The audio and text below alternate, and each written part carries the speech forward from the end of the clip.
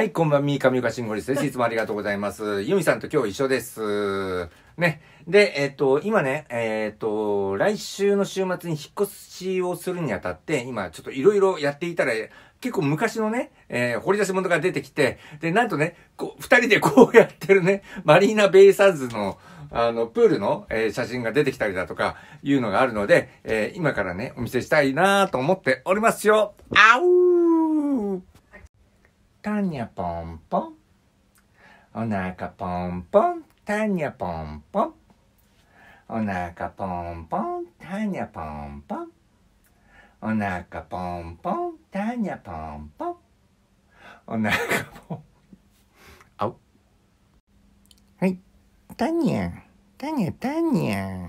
ううううううう。そして、ここに、マリーナベイサイズの時の写真があり、で、これ、あんにょ、あんにょ。ここに、たにゃん。はい。ということでですね、ちょっと見ていきましょうね。えー、こんな感じで、シンクロして、ね。はいはいはい。ちょっとね、ビーチク見えてるかな、僕のね。はいはい。まあ、これね、まあ、この左上にも、こう、あるでしょう。あのーマリーナベイサンズシンガポールっていう、これがね、正式なやつ。で、えっ、と、なんかね、これ、あ、これ、こっち来ちゃった。これね、有料のなんかメニューだったらしいんだけど、あの、ぜひも、モデルとして使わせていただけませんか？って言って、恋人同士的な、こう、あの、ちょっとね、僕の手が、あの、ユミさんの肩のところにかかってると思うけど、そういう感じで撮らせてくださいって言って、まあだから、ハワイで、あの、モデルやってきた時の、その前に、まあ、こう、だから、こういうの多いよね、僕。あと、バリでもやってきたからね。まあ、その話はまた今度しますけど、って。はい、というわけで、えーっと、今月の27日に、まあ、引っ越しをしようと。で、まあ、その日までに持っていけるものはある程度持っていきたいとは思っているし、で、えーっと、引っ越しの一括見積もりだとかもしてみた中で、まあ、僕自身ね、あの、テレビだとか冷蔵庫だとか、まあ、いわゆる家電は一切ないですし、リビング、リビングの、えー机だとかチェアだとかっていうのもそうだし、えー唯一大きなもので言えば、えー椅子、あの、ゲーミングチェア的な、あの、椅子、ああバイイケアみたいな感じだったんだけれども、まあ、それもね、もう数年使ってるから、もう、うん、有料ゴミでいいかなっていうところがあって、うん。まあ、で、どうなったかっていう話を、えー、まあ、どうなったかってまだ結論じゃないけどね、今進んでいるのはどんな感じかってことをお伝えしてみたいなと思ってます。たにゃん。はい、たにゃん。うんほんで、えーっと、まずね、えー聞いてみましたよ。えー有料ゴミがどのくらい、えー有料でお金がかかるのかというところで。で、まずは、その、ゲーミングチェアの椅子が400円。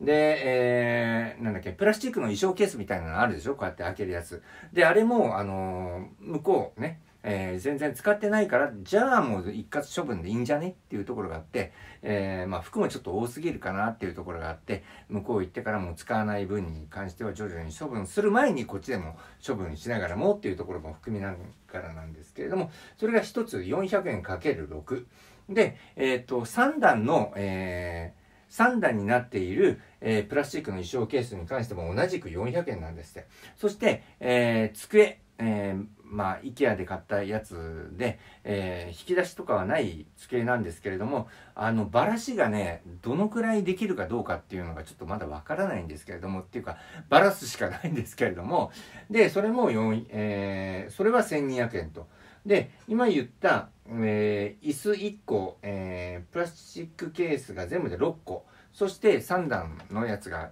1つ、えーで、机が1200円というところで全部足すと4000円ぐらいと、えーいうところで、まあ、6月のね、上旬の、まあ、ある日に、えー粗大ごみというところで、有料粗大ごみというところで、えー受け取っていただけるというところがあるので、それまでにちょっとね、脳を準備してっていうふうに思っている次第でございます。はい、というわけで、えーこの間、ちーさんがですね、えーディズニーランドに行って、このでかい、えーベイマックスをですね、買ってきて、これいくらしたの？これ。じゃえ？あこれプレゼントだよプレゼントだうん万円だってうん確か言ってたね。うん万円ですってこれ。うん。で、えー、まあちょっとね、えー、せっかくのっていうところがあって、えー、登場してもらおうかなと思っていて。で、この、あの、ベイマックスと一緒に、あ、マックスマックスもそうだし、うちの猫ちゃんが、えー、いろいろ写真を撮って、みたいなことがありましたよ、というところで、えー、特別参加の、このね、後ろにね、うん、こうね、うん、あうの、ゆみさんが、あう。ほんで、えー、引っ越し一括見積もりだとか、やってみたんですけれども、そして、まあ、いろいろやりとさせていただいて、えー、下は4万円台から、あの、高いのだと7万8千円だとか、そういうことがあって、まあ、かなりやっぱり人件費も、えー、かかるだろうし、あいろいろね、えー、合うだよねっていうところがある中で僕がどんな決断をしたかというところをで、僕はどういう決断をしたかっていうか、決定したかっていうかっていうと、まず、あの、引っ越し見積もり業者さんにいろいろ調べてみたところ、やっぱりね、えっ、ー、と、人件費っていうか、もう運んでもらったりっていうところでは、それはそうですよね。えー、日当だとかっていうことを考えてみればっていうところがあるので、まあ、そこら辺に関しては、ちょっと却下というところで、お金かかりすぎるかなっていうところがあって、じゃあもう少し、えー、安くできるっていう面で言ったら、自分たちで、えー、レンタカーを借りて運ぶ。っていう点で言ったら、えー、ニコニコレンタカーだとか、えー、日本レンタカーとか、まあいろいろ調べました。まあ安いところはこんな感じだし、えー、高いところはこんな感じだしっていうところがあって、で、えー、そこら辺もかなりね、えー、その営業所によってもまちまちだし、えー、ばらけが結構、あのばらけた、こう、いいところはいい。でも、あんまり良くないところは良くない。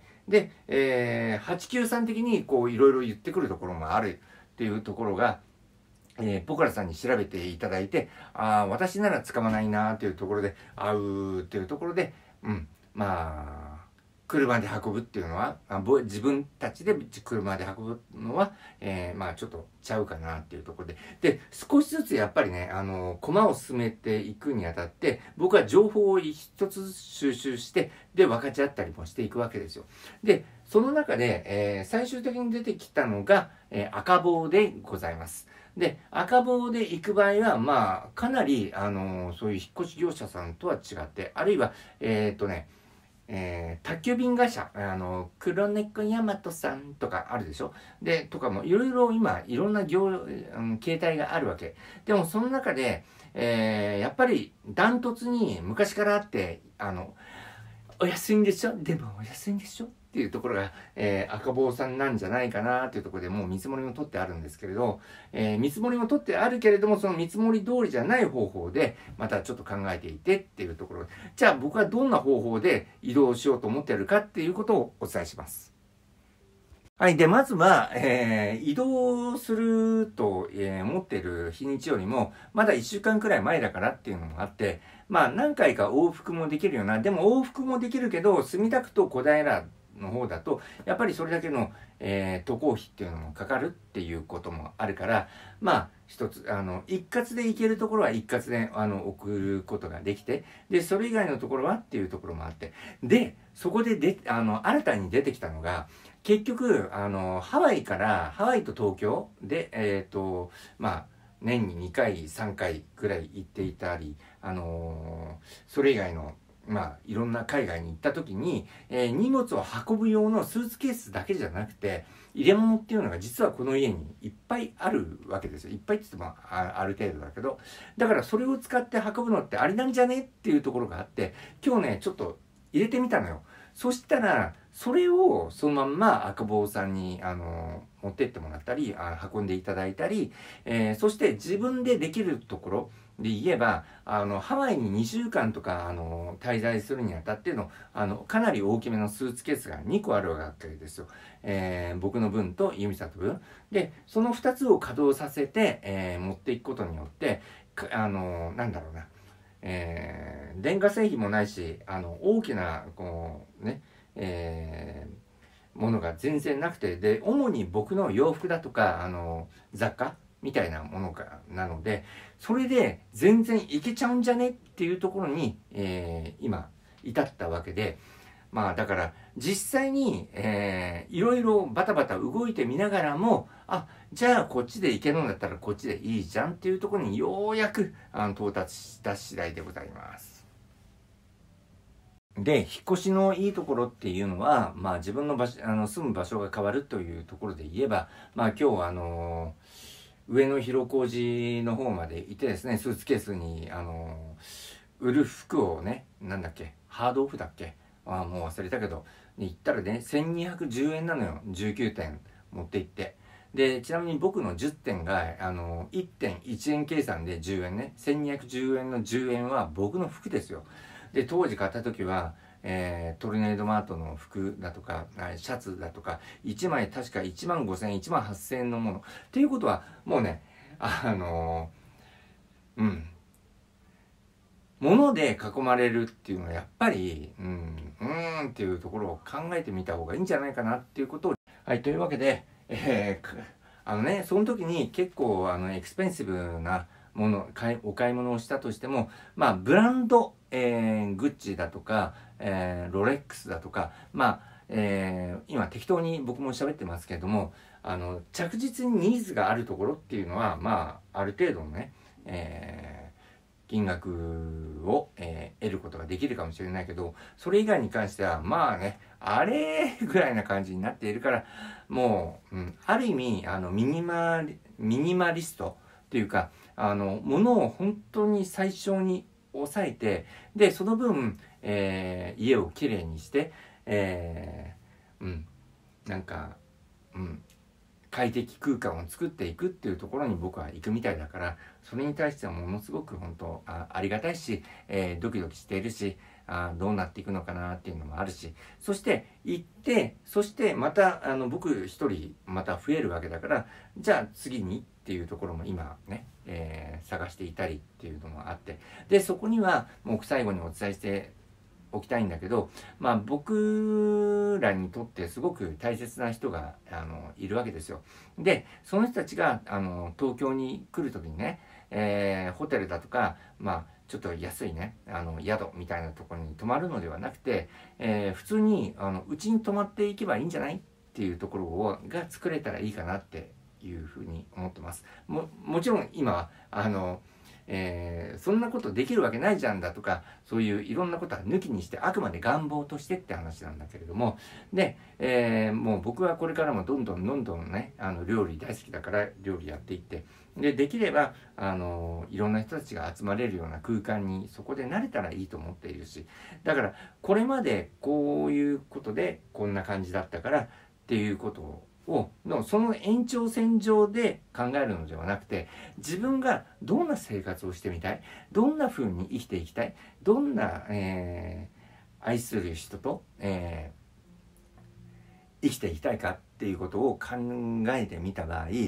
うん、そこに対してはあのお互い正直でそして、えー、受け入れられるところを受け入れていくというよりも全面的に受け入れながらも自分がじゃあどうするかっていうことを一つずつ考えていけばいいんじゃないかなって僕自身は思っているんです。まあこうやって喋ること自体も愛なのかもしれないけどまだね、えー、これから一つずつ進めていく中でそして、えー、もう一つえー、この家に、まあ、あのもう戻ってこないのではなくて猫ちゃんたちのことだとか、えーと、あと大型の、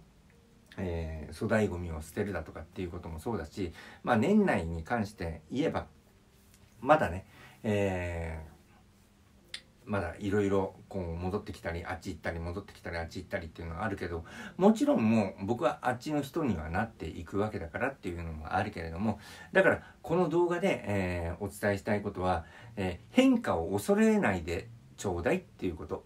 例えば引っ越し変化例えば仕事が変わる変化、えー付き合う人が変わる変化だとか、まあ、いろんな変化があるかもしれないけれども、変化があるってことは、それだけあなたが成長してるってことだろうし、えー、これまでを否定してこれからに行くではなくて、これまでがあったからこそこれからがあるっていう考え方に切り替わることができれば、えーまた素晴らしいことになっていくし、とにかく今のあなたがどれだけ正直で素直で、そしてエネルギー豊かに波動高く生きていけるか、それがこれから目の前にどんどんどんどん出ていくから、えー、僕はそれに対して応援していきたいなと思っているということを、えー、最後にお伝えしたくなりました。はい。えー、最後までご覧いただきましてありがとうございました。えー、もうね、引っ越して待ってるんで、まあ、着実に一つずつやっていこうかなと思っているけど、まあ、冒頭でご覧いただいたような、えー、イミさんとの、えー、シンガポールでの思い出、もちろんシンガポール以外も、もう海外いろんなとこ行ってきたから、えー、そういう、なんていうかな、うん、絆というか財産というのはこれからも大切にしていけたらいいですよねって。これは僕だけの話ではなくてっていうことで、えー、閉じさせていただきます。はい。えー、はい、はい、はい、はい、はい。宮尾治